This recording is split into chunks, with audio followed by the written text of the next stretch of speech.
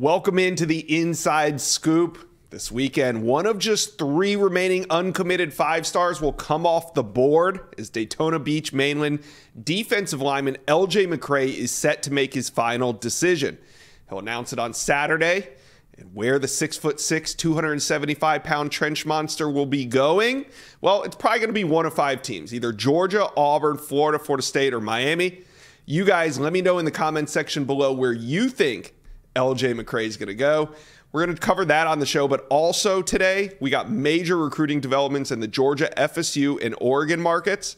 And also, another top 25 QB is on the show. This time it's Ryan Montgomery, four star arm out of Findlay, Ohio. He's, he's coming off a big SEC visit and will be making a decision in the not too distant future.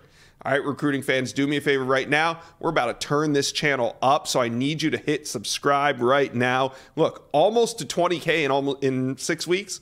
Let's get there. Thank you. All right, let's talk LJ McCray's recruitment for a minute. We're about 48 hours out from his big decision. And if I had to break it down to you, like I said, there's five main teams in the mix, but I think it's broken into two tiers. So as it stands right now, I feel like you have Miami and Auburn in the mix, but sort of on the outside looking in on the top tier of teams that include Georgia, FSU, and Florida. Now, let's look at the recruiting prediction machine. It shows UF with 37%. Georgia right there at 24%, and FSU at 15%. Do you guys agree? Because I don't know if I necessarily agree with this. So tell me if you guys agree with this. Like I said, let me know in the comment section below where you think LJ McCray is going to go. All right. How else can we kind of determine where he's going to go? Well, I, I was talking to the beat writers that cover all five of these teams, and I sort of noticed that they all feel some level of confidence in the school they cover. Some might be more confident than others, but all five have some level of confidence in the team that they cover, landing LJ McCray. So I wanted to find out if it's not the school you cover, it's not the school you cover, where do you think LJ McCray will end up? Now, here's what they had to say. Uh, if you would have asked me Friday, I would have said Florida. But if you ask mm-hmm. me right now, and you are, I'd probably say Florida State. I think Florida State's made a move on both of these schools, and I'm not saying he, that's where he's going. If you're going to take Georgia out of this, I would I would go with Florida State right now. I think they've got some some buzz with it, and that last visit could have been crucial. Georgia went and saw him a couple of weeks ago, so they can't go see him this week. Uh, that they've used that visit up uh, going down there, so you look at this, and um, it, right now, a little bit of buzz starting to, to crank up for Florida State. Where do you think he would go if it's not FSU? That's a tough one. It's really close with, for me for the two or three. I think there's several teams in there, but I think I think if I was picking one, I would say Georgia uh, as far as that other team just because I think that's a team that's really uh, a school he's enamored by. Obviously, the two-time division champions, they do well with defensive linemen. If you look at their pedigree, you know Jalen Carter being the most recent one that you know uh, really exploded. So I think I think that's the team that if I was picking one, it's close between them and Florida. If he's not going to Florida, I think he goes to Florida State. And I say that, and even dating back to about March time, you know, talking to people around, people would ask me, "Hey, where do you think he's leaning?" And I always would say it's very close from Florida and Florida State. They're both in state. They both got at the time about the same amount of visits, but it just seemed like those were. I felt like Florida State got a better jump in his recruitment compared to Florida early on, and we'll see if that holds true. But also getting him for an in-season OV when all the other finalists didn't. Um. I thought that was a really good strategy by FSU if he does go there. I know some people might look at that, look at that and think it's kind of risky. These other schools get him for OVs, but you want to wait it out. I think that shows the confidence in Tallahassee as far as the season they thought they were going to have, and they thought that atmosphere would definitely be a huge factor, and that's what I'm looking at. I, I, I never thought the kid would leave the state of Florida. Um, I'm back and forth with Florida, Florida State. I know Chad Simmons On3's. Chad Simmons thinks uh, Florida State's got a lot of buzz in there. I have no reason to doubt him. Uh, for me, it's always been Florida, Florida State. Um, and, and that's just kind of gut feeling there, just kind of reading the leaves from the tea. All right, there you go. Hearing from the recruiting experts themselves on if it's not their school, where do they think he's going to go? Now, of course, LJ McCray has not informed any school of his decision. So, as of right now, this is all pure speculation, which we love to do on the show. So, let's look at one more graphic that sort of tells the story of LJ McCray's recruitment, and that is his official visit schedule. Now, we look at June 2nd, UF, they set the bar high with that first visit. June 9, he was at Miami. June 12, Auburn. June 16, Georgia. Now, it was a very busy month of June for LJ McCray, and a lot of people thought that a decision could potentially come in the summer, although he was always alluding to a fall decision. But just the way the summer went, you guys remember, guys were committing left and right all over the place across America. It just felt like LJ McCray might come off the board early, and that's why that October 7 visit you see there with FSU kind of lingered and people didn't know like is FSU going to is he going to actually make it to FSU or will he decide first? So there was a bit of a risk there with the Seminoles locking in that October fall visit but I think that is why you are hearing so much buzz around the Noles right now because they were able to get that last official visit. They also got him on camp. Uh, well, he wasn't on campus. He went to Orlando, the neutral site game, to watch FSU LSU. Obviously, FSU won that game. So if you look at his visit schedule, you know, that October 7 trip to Tallahassee kind of stands out there as an outlier. But as of now, there's still no no expert predictions on crystal balls on 24/7. No expert predictions yet on the On3 recruiting prediction machine. I might put one in though, and I'm leaning towards FSU. We'll see what happens here. You guys, though, you're the real recruiting experts. So let me know in the comments section below where you think LJ McCray will land on Saturday. All right, let's keep the show moving. I want to talk a little Georgia recruiting next. The Georgia Bulldogs are just over two months away from closing in on the number one class in the 2024 cycle, but there's still a few more pieces to fill before Kirby Smart and his staff are happy with what they got. And in this video, we're going to focus on big potential flip target. Plus, this Saturday, five star defensive lineman LJ McCray will announce his commitment.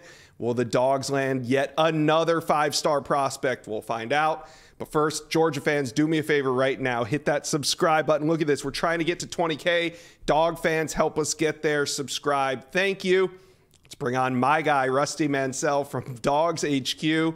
And Rusty, this week it's a Georgia bye, so so you have some time off. But we know what the Georgia coaches will be doing. They'll be recruiting. Uh, where are we expecting the UGA staff to pop up on their bye week? Because we know they'll be at some Friday night games that's something I'll be watching for sure. You always kind of say, hey, where are they going to end up? I did confirm a couple of visits, and uh, you look at Mike Bobo, who's going to be up in the Boston area seeing quarterback commit, 2024 quarterback commit Ryan Puglisi, who's off to a great start this year. So mm-hmm. Mike Bobo will be up there to see him. You look at Dell McGee, who will fly all the way to California uh, you know, he wants to keep tabs on the number one running back in the country, Nate Frazier, who's verbally committed to Georgia as well. So we'll have more as the week goes on, but you can tell on late Thursday night, early Friday morning, uh, Georgia staff will hit the road. You always, Josh, it's that week you kind of want to say, hey, who are they going to see? Because if a name pops up, you know what that means. Those two people have been talking. So that's what we're going to watch as the week goes on, especially in the 2024 class. Yeah, you get a good feel for who's a priority. And like you said, in the 2024 class, if there's ever going to be a late offer to go out, it's going to be in one of these evaluation situations. So, 100%. not saying that that's a possibility, but it's something yeah, that happens when the coaches 100%. are out on the road. Okay, Rusty, let's get into some of these final targets for the dogs. And I want to talk Kam Mikell. He's right there in Statesboro, Georgia. And mm-hmm. are the dogs fading here? Because, you know, he's a two way athlete, plays both offense and defense. Georgia offered him as a DB, but are they still recruiting him as one? Because we know Tennessee, Colorado, some others are offering him some playing time on the offensive side of the ball. I think Georgia's in a spot to where they're like, look, you just come here and we'll figure out the best way. We'll figure out offense or defense. Listen, Georgia recruited Miko Hardman, and for a year he played corner. He just didn't like it. He just wasn't natural. So they switched him over to offense. And uh, where he was more natural. So I think yeah. with Kam Mikell, Georgia's recruiting him really hard, saying, hey, you know, if you come here, we'll figure it out once you get here because there's only so many of these big time guys that can run like him with verified track times. I wouldn't say Georgia's fading. They're still in communication. I think Tennessee's a team you kind of watch with this. Uh, Colorado, obviously, you got to take them serious with everybody uh, now and get him on campus. But he's been very quiet. He's closed his circle mm-hmm. down real tight, you know, these last couple of months. So but I am confident there's still communication between he and Georgia, and I think Georgia's got a shot here. We'll see what happens down the stretch.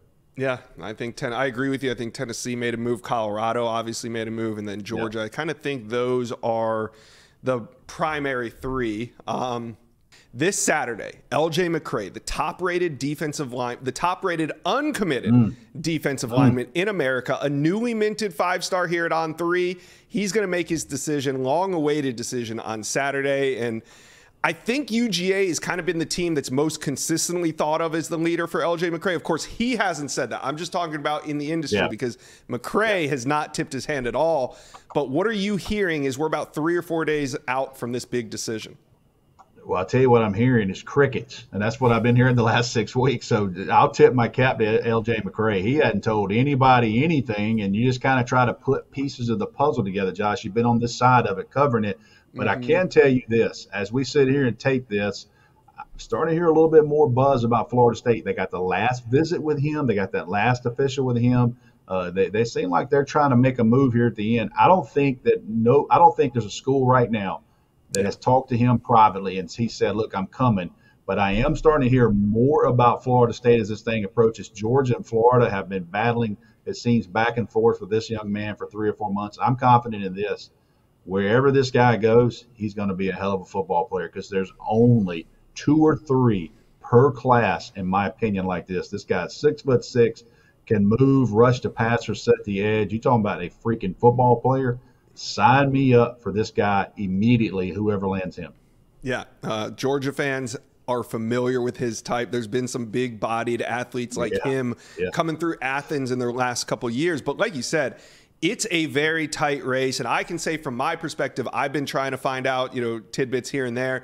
And the one thing I think is consistent across the board is LJ McCray has not informed any coaching staff one way yeah, or another surprised. if he's coming or going. State, but this will be something, Josh. You'll shoot videos on the rest of the week. I'll do notes on Dogs HQ the rest of the week. Chad Simmons and I will talk 45 times the rest of the week. This will we'll be, still won't know. There's all, there's all, you still won't know. This is really one of those, Josh, is really one of those where we'll watch it with everybody on Saturday and go, oh, okay, well, that's where he was going. So uh, we'll piece as much together as much as we can. I'll be surprised if he tells anybody, especially in the media, uh, where his final decision is.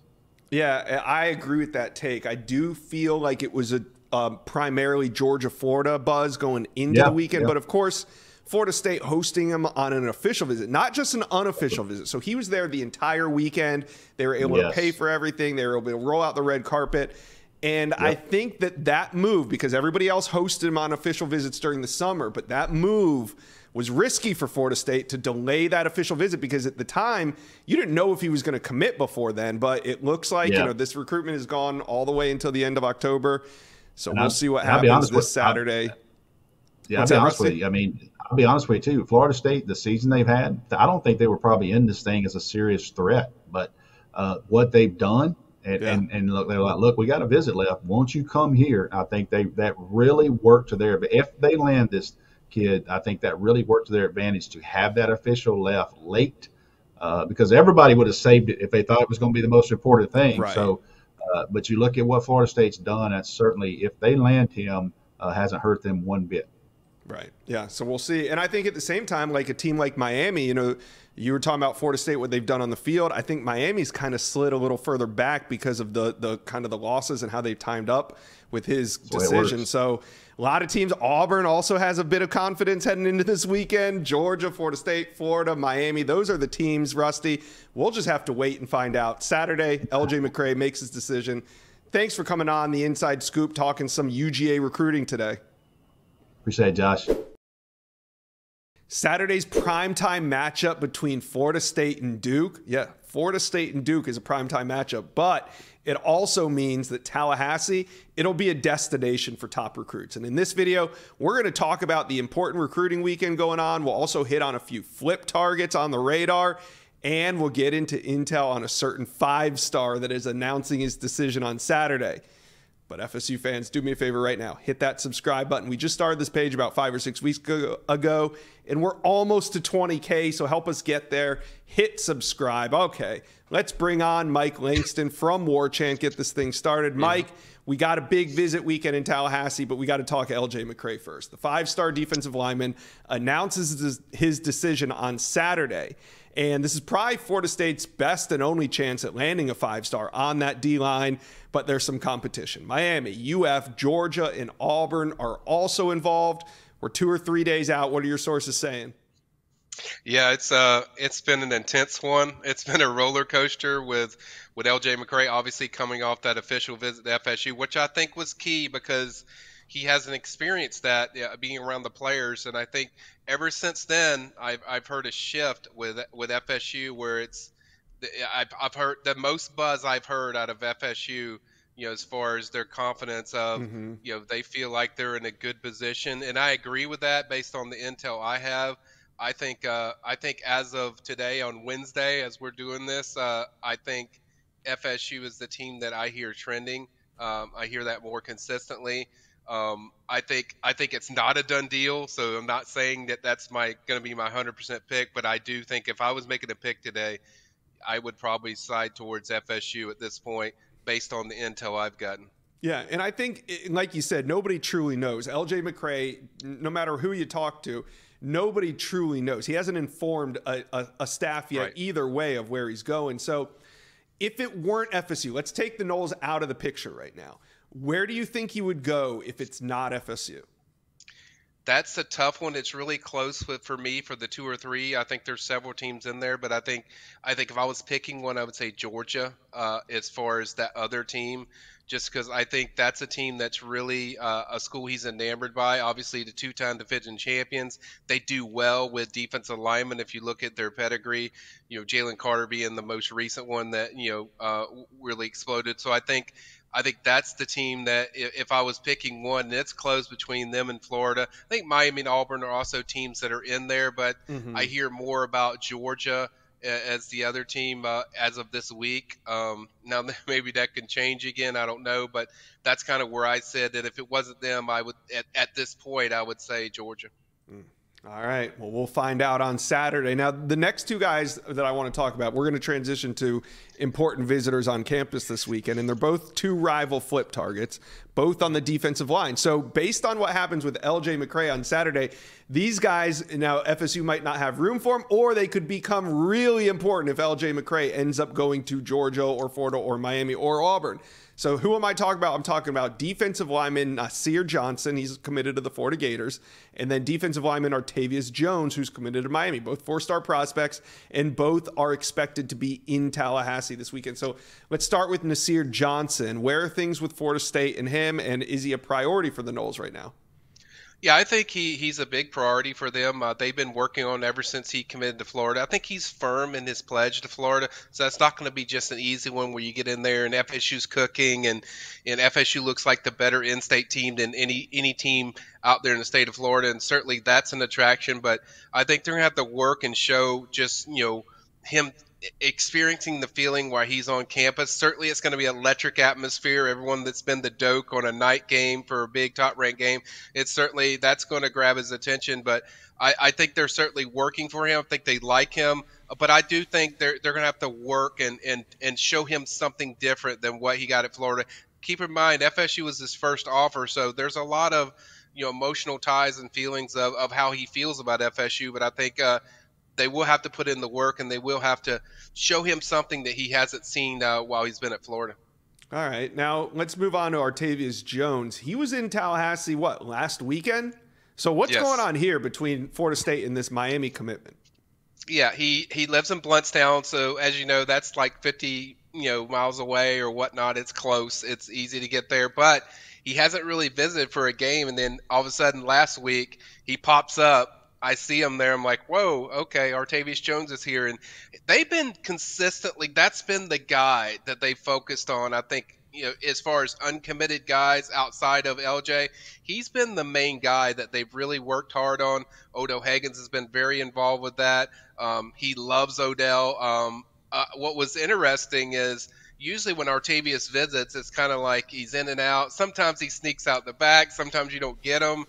This one, he was more around the crowd, you know, mm-hmm. doing some chops, being around, taking pictures, may even coming up to the media and talking to us after the game. It was much more accessible, where it's more like you felt like he was invested in, in what the product was. Hmm. Um, certainly had a lot of nice things to say. Coming back for the Duke game, I think that's a major major development for FSU, and they're still going to probably get an official visit out of him as well. So uh, that's a guy to really uh, keep your eye on.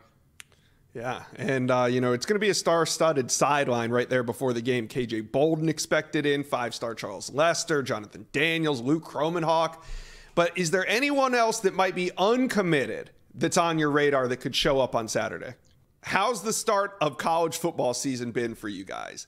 I know the games have been great, but you know what's not great? Finding last-minute tickets finding tickets before game can sometimes be a nightmare. And do not let this be the way that your season goes.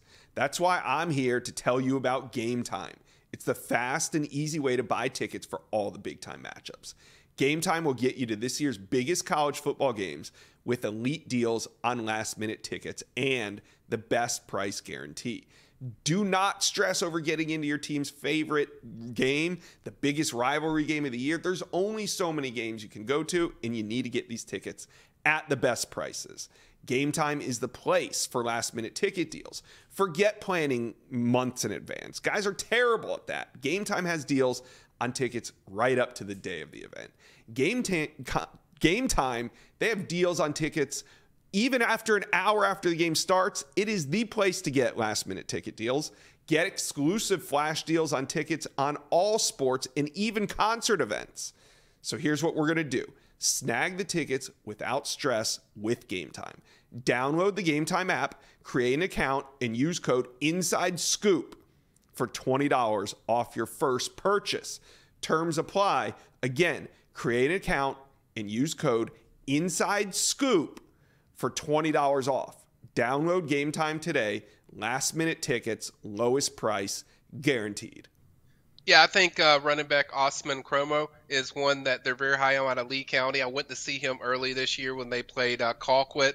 He ran for like 200 yards, uh, and that's a very good Colquitt team. And uh, I don't think they have a running back that's like him on the roster either. He's a physical kid, but very good, and you can put him in pass situations, but uh, big, big, just long, athletic kid, kind of Eddie George like when you watch him run. Uh, just a long strider and just a special talent that we already know that FSU has a really good running back room, but I think mm-hmm. that's a guy they've really him and Alvin Henderson have been two of the guys and and I I think this is a guy that has been to FSU the most. Alvin visited last weekend, but you know, Austin's been there a lot to FSU, so they've certainly that's one that they're they're heavily targeting as far as being a the guy. Uh, as far as visiting, a lot more other guys that I think you already touched on that are visiting. I think Elias Williams, tight end, 2025, uh, that's committed to Georgia. He's expected to be there. Some really good offensive line for 2025. Four-star Solomon Thomas, four-star Max Buchanan. Um, those are some of the guys that I think uh, are expected to pop in. And then the other one that's kind of intriguing to me is Jaden Perlotte committed to Georgia 2025. Yeah. We we've talked about him. I think a lot of people have put you know some picks in, and and that's a guy that I'm going to keep an eye on to see how that visit goes. Well, it sounds like it's going to be a busy weekend, but before I let you go, FSU fans wouldn't let me do this without asking you, Mike, who do you have on commit watch this weekend? Yeah, I I haven't heard like there will be a for sure commitment, but I would say the guy to watch for me is Artavius Jones flip candidate. Uh, I have them on Flip Watch. I even put that on my list when I did it on there, just because when you go there back to back weekends, Josh, you, you always and like you said when you since you've been doing this, follow the visits, and when you start following back to back visits, and Miami's hosting probably their best opponent they're going to play, and he's not going to that game against Clemson. Yeah. I think it says a lot if he shows up. Uh, I think uh, he's certainly a guy you have to keep on flip watching. I, I would also throw in a, a little bonus one 2025 five star Armondo Blount. Watch out for FSU there. I'm hearing some, you know, some positive trickles, a little F- FSU there with Miami struggles. So that's a guy that I'm kind of keeping on as the season goes on. That I think they're not done. They're still working on him hard. So that's one to keep an eye on. I think for the rest of the year. Man, there is a lot going on with this one, and warchant.com. You guys will be keeping these updates rolling throughout the weekend. So if you got any questions or want to see if these guys actually make it to campus, be sure to check out Warchant. Mike, busy weekend. Take care, man. We'll talk to you probably on Monday to recap all the action. Appreciate you. Yeah, hopefully. Hopefully I can come up for air on, uh, on Monday, but uh, it's going to be really busy. A lot of stuff going yeah, on. Yeah, that late prime time game. Good luck to you. I tell you, man. Thanks, Josh. See ya. Good thing recruiting doesn't always correlate with wins and losses on the field because even though the Ducks lost to Washington and it might feel like things are down, if you look at recruiting, you would have no idea.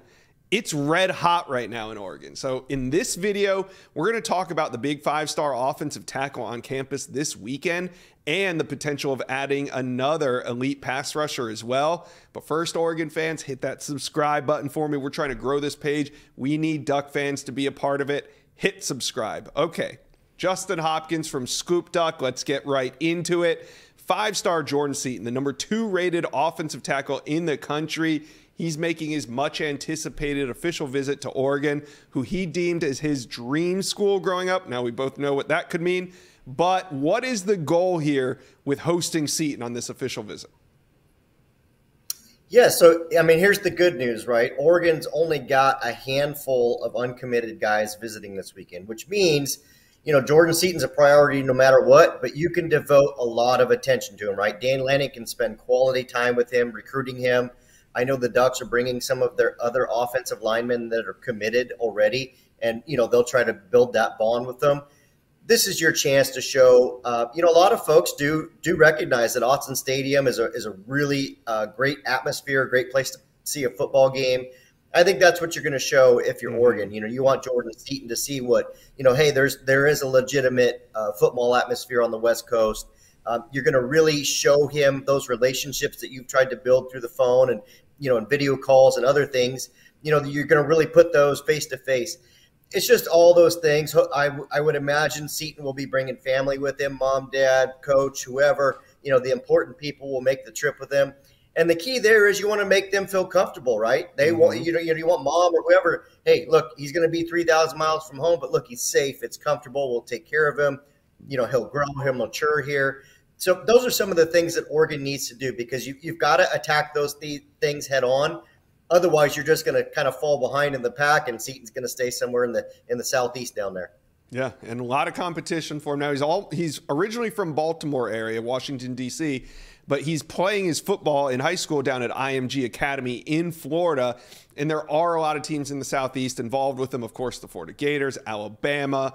Uh, you got Ohio State's going to probably get him in on a visit as well. Florida State involved there. So Jordan Seaton getting to Oregon this weekend. I think I exchange I exchanged a few texts with him yesterday, and I think this is a big opportunity for the Ducks. He's looking forward to just what you said, Justin, that hype around the game and being there in that game day atmosphere. He's heard a lot about it. He told me he can't wait to experience it. So we'll see what he has to say coming out of this one, but I think it's a big opportunity. Now, Solomon Williams will also be on campus. He's the other official visitor this weekend, and he's been trending toward Texas A&M the past 2 to 3 weeks, but that that comes as Texas A&M season starts to spiral. So another great timed visit for Oregon. What are your sources saying on Solomon Williams out of Tampa, Florida? Inside Scoop fans, I got to tell you about something that has changed my fall football season for the better, and that's HelloFresh. I've been trying HelloFresh recently, even as recently as last night, and I have no idea why I waited so long. With HelloFresh, you get farm fresh, pre portioned ingredients and seasonal recipes delivered right to your doorstep. Skip the trips to the grocery store and count on HelloFresh to make home cooking easy, fun, and affordable. That's why it's no- America's number one meal kit. And let's face it, we're busy during the fall. You guys know the routine. You work all week and then you watch football all weekend.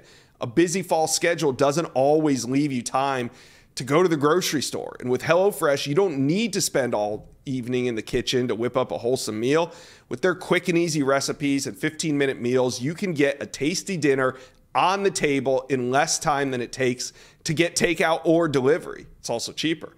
A new season calls for new meals, and HelloFresh has a fresh fall lineup of delicious dinners and more to choose from. Take your pick from 40 weekly recipes that suit your lifestyle from veggie to family friendly to fit and wholesome. This week, I was in the kitchen chefing it up like you know I do. And when I get home from work, the last thing I want to do is really go to the grocery store. All the ingredients, they were right there at my doorstep. I didn't have to buy, I didn't have to wait in line, I didn't have to throw out all the extras that you always have.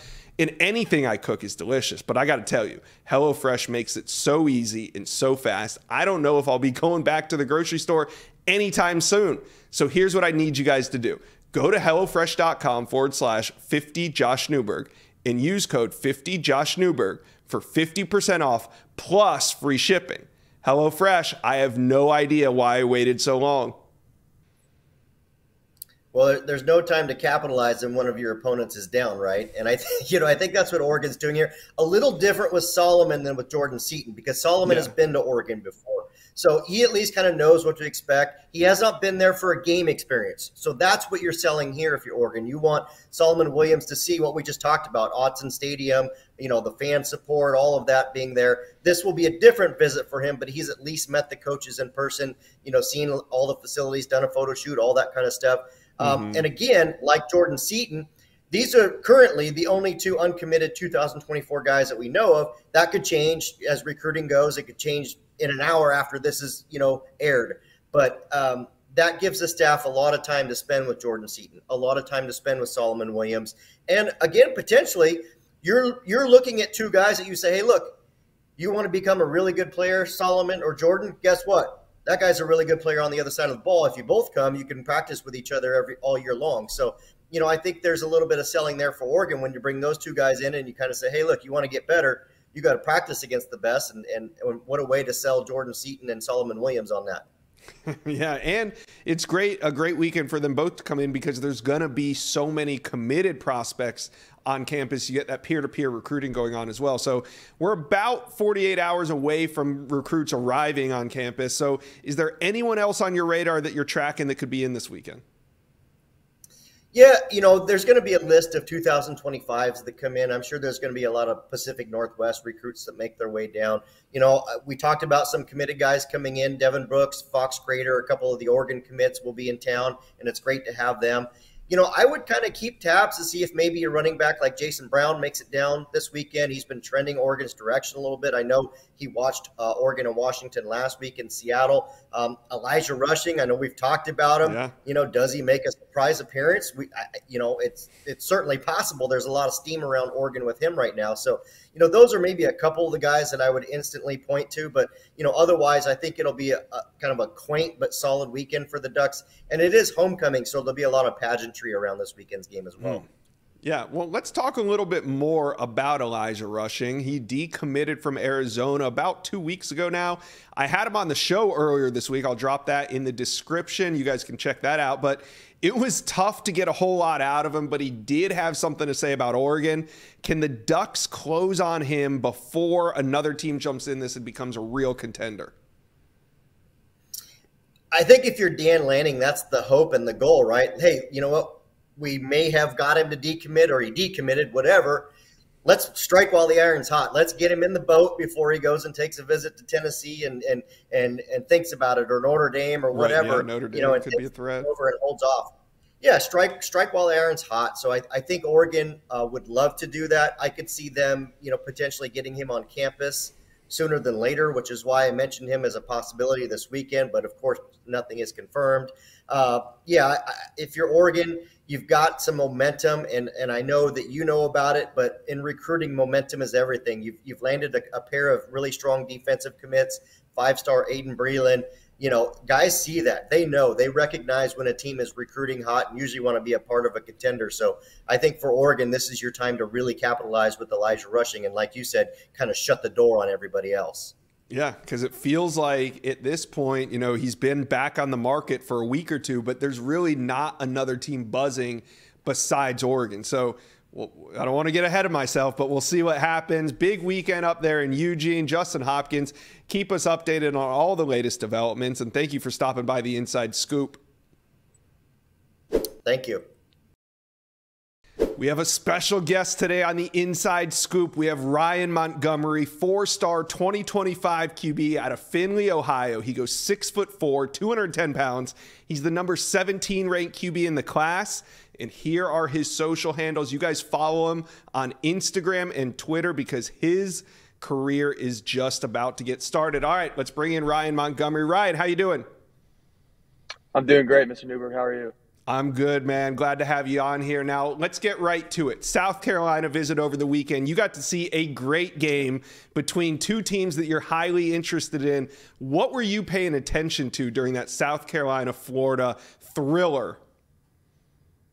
Yeah, for sure. I mean, first and foremost, I mean, um, it was just great to get back down to South Carolina. It's actually my first game visit, and it was as advertised, the atmosphere and everything. So I really enjoyed my time there.